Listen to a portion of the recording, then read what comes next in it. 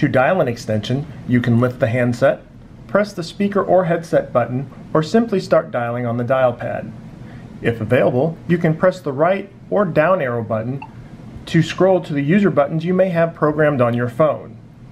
Press the assign button or highlight the entry and press select to call that user.